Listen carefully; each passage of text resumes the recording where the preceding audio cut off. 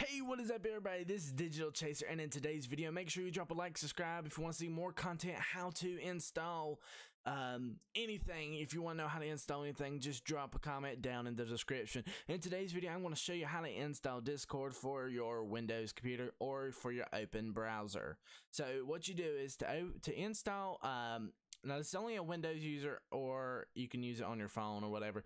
But this is basically where you can where you can do TeamSpeak. You can just um I mean you can like chat all over you can chat all over the world if you wanted. You can even play with your friends on this. You can call your friends and all this other stuff. But let's get down let's get down into this free software. It is a free voice and text chat for games. Um a lot of uh, big YouTubers use it, and I just wanted to do a video about it. Uh, make sure that you go check out my new channel called Digital Dives. And um, so yeah, what you want to do is you just want to click this download button right here.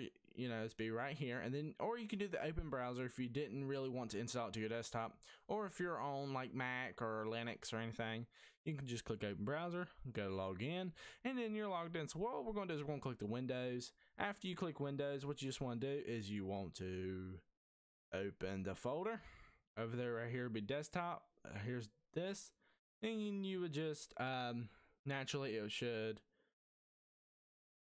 I already have mine set up so basically um after you have it installed it will install to your desktop. Where's my discord?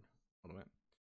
If it's not okay so if it's not nowhere on your desktop like mine which mine is right here but if it's nowhere here on your desktop like right here or anywhere on your desktop then what you would just want to do is you just want to go to press your start button then type in d I S and it should pop up right there.